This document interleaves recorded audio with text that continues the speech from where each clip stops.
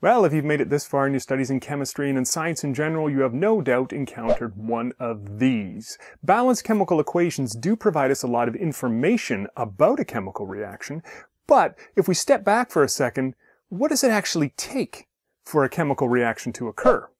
Well, in a word, for most chemical reactions, it takes a collision. That's right, the particles have to come together. Now, I think it's obvious that not all collisions are going to result in a chemical reaction. I mean, we're constantly being bombarded by nitrogen molecules and oxygen molecules in the air all around us. In fact, under the right conditions, those two molecules are going to combine together to create a poisonous gas, nitrogen dioxide. And clearly and thankfully, that doesn't happen. So it can't just be a collision that is going to be necessary for a chemical reaction to occur. Now, there is something called collision theory. And there's three main points to collision theory. First, and I think it's fairly obvious, the particles have to collide. That is, in order to react, the particles have to come together. Secondly, they have to collide at the appropriate orientation, meaning those molecules have to be in the correct geometry, that is, certain atoms have to collide with certain atoms in order for bonds to break and new bonds to form. And finally, there has to be the appropriate amount of energy. Just because they collide, and just because they might collide at the appropriate orientation, if there's not enough energy to overcome the attractive forces of the bonds they're breaking, then there's not going to be a reaction either. Just how much energy do these particles need when they collide? Well, we have to bring in another theory here, and that's called the transition state theory, and it's best visualized through something called a potential energy diagram. Now your potential energy diagram is going to look fairly similar to an enthalpy diagram because it does deal with the overall enthalpy change between reactants and products. In fact, it differs depending on whether the reaction is endothermic or exothermic in the forward direction. And that certainly comes into play when we're analyzing potential energy diagrams, but the thing that we're really looking at, especially when we talk about how much energy is required for a reaction to occur, is something called the activation energy. Now if we take a look at this diagram here, we're going to see that this represents an exothermic reaction, and we can tell that from our knowledge of thermochemistry because our reactants have higher energy than our products, meaning there's a net energy output as this reaction proceeds.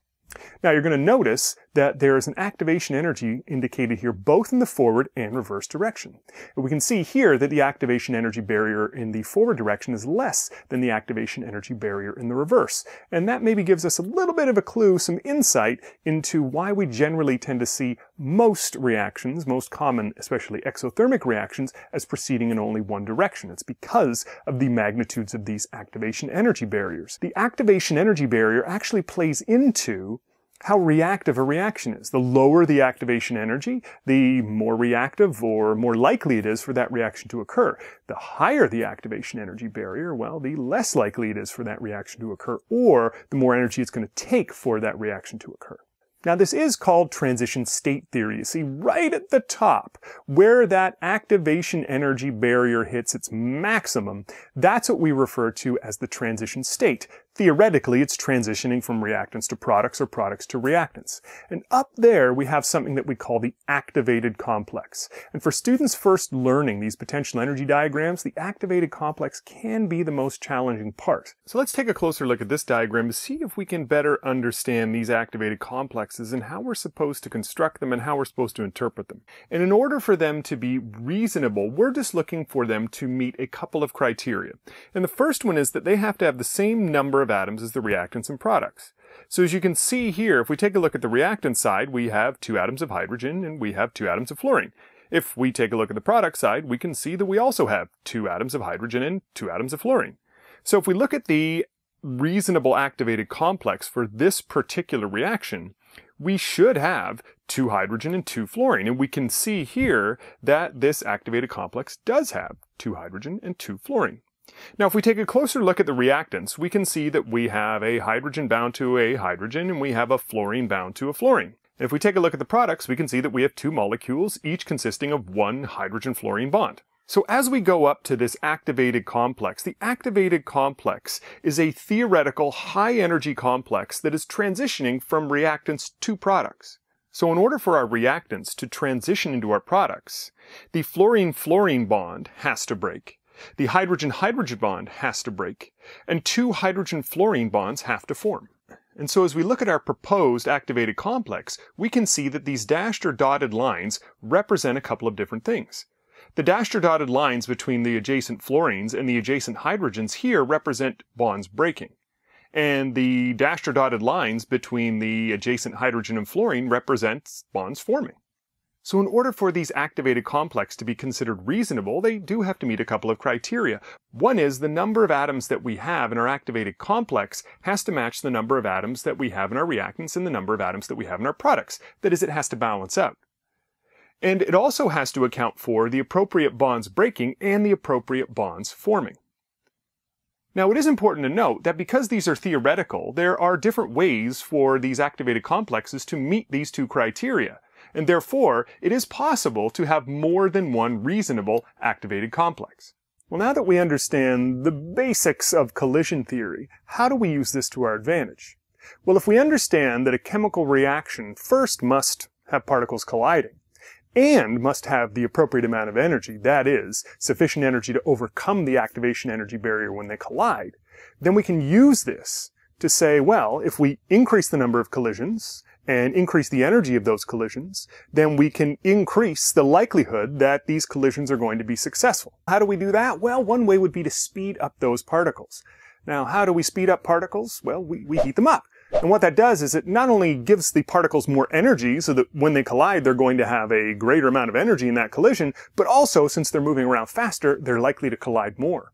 So increasing the temperature of a reaction increases the number of collisions because the particles are moving faster, but it also increases the energy of those collisions, therefore increasing the likelihood of a successful collision. We can also increase the surface area of a solid within a gaseous or an aqueous or liquid system. And what that does is it increases exposure of that solid to the gas or to the liquid, further increasing the number of collisions. And as we said, if we increase the number of collisions, we can increase the likelihood of a successful collision and increase the probability of a reaction. Yet a third way would be to increase the concentration of a substance, especially if we're dealing with an aqueous solution or if we're dealing with a gas. We can increase the number of moles of that substance within the aqueous environment or within the container that it's in in the case of a gas, which increases the probability that there's going to be a collision and increases the likelihood of a successful collision. You see, all of these factors temperature, concentration, surface area are going to allow us to control or manipulate the chemical reaction itself, increasing the likelihood or decreasing the likelihood of a collision depending on what we are trying to do for that particular chemical reaction. So one last thing before we go. It should be noted that activation energy is something that cannot be easily changed for a given chemical reaction, not by increasing or decreasing the temperature or the surface area or concentration. But what we can do is introduce a catalyst. Now, a catalyst provides an alternate pathway or an alternate set of pathways for a chemical reaction to occur, and typically these pathways are going to be lower energy.